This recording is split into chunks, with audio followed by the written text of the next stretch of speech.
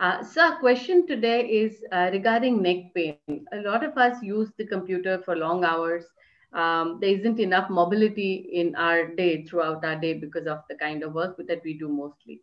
And uh, neck pain because of posture or maybe some other reasons. A lot of young people, younger people, maybe the older as well, have neck pain. You know, their um, neck starts paining over a time and there doesn't seem to be a very easy remedy to this. So, can you just elaborate on uh, the reasons for why people get neck pain and what is it that they should do in such a case? Yeah, if you see the uh, anatomy of the brain, uh, where the brain ends and the stem starts, the spinal cord stem starts, uh, uh and then the spinal cord casing comes in of the bone structure, which is the vertebra. So, you have those first three bones at the neck. Right. Yeah.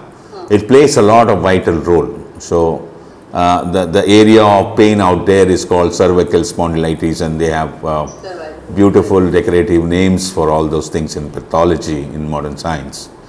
Um, most of the re, uh, uh, uh, uh, real reason for neck pain is mainly because of um, particular position in which uh, you place yourself all the time in the world. That, as you said, the computers.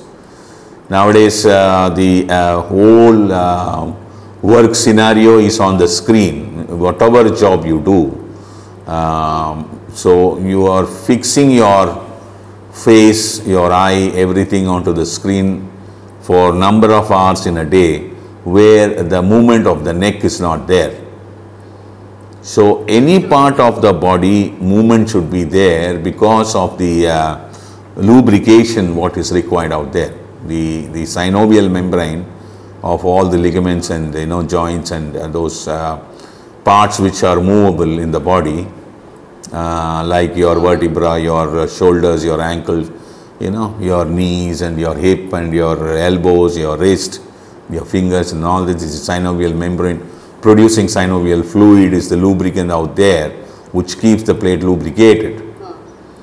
And then uh, if you are going to keep uh, certain things stiff out there without the movement, then there is going to be uh, some level of inflammatory accumulation out there.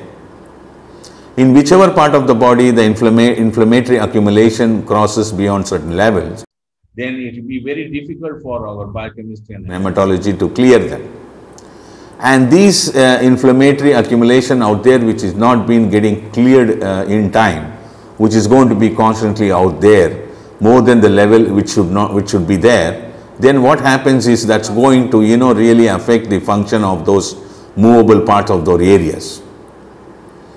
This is this is i am telling you in general. I, I think any any uh, normal person can understand this. So where we are stuck with this uh, 14 hours and 16 hours and 18 hours of hard working with your computer screens or your your whatever screens, your iPad screens or mobile screens or computer screens, you know, even if you, you know, work for 10 to 12 hours, then you are on the mobile screen for at least 3 4 hours in a day without your knowledge. Then you are watching something in your iPad.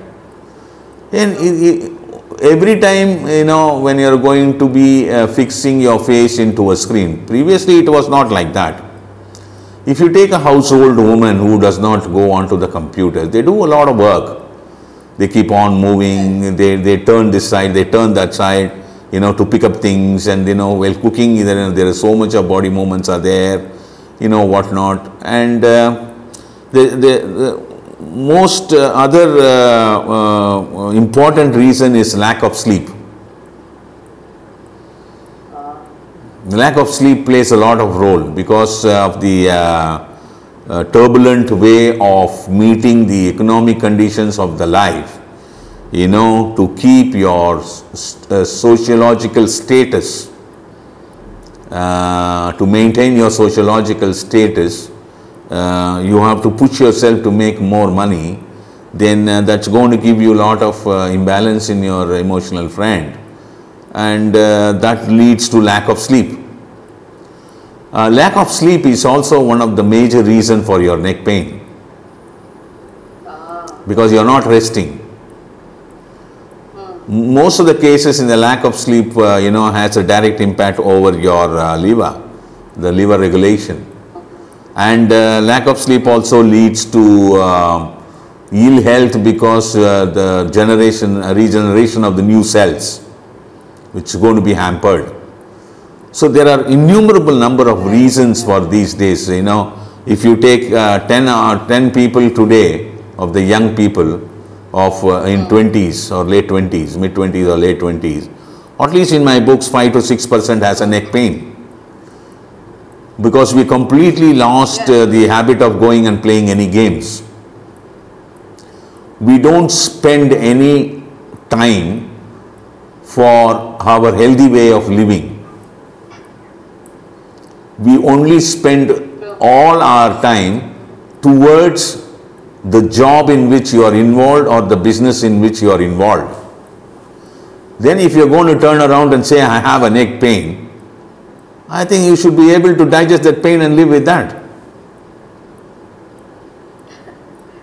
That's how I put it that way. I'm not arrogant here to say that. We don't even have knowledge of how we are supposed to maintain ourselves. Like the way you sweep and swap the house and dust the house and keep it clean, you are supposed to do certain things to maintain your physiological system, right? Yeah, Which right. we have failed to do that in, in, in the last 30, 40 years. So this is, these are all number of reasons for the neck pain for which is being reported in most of the people in the present society today. Thank you.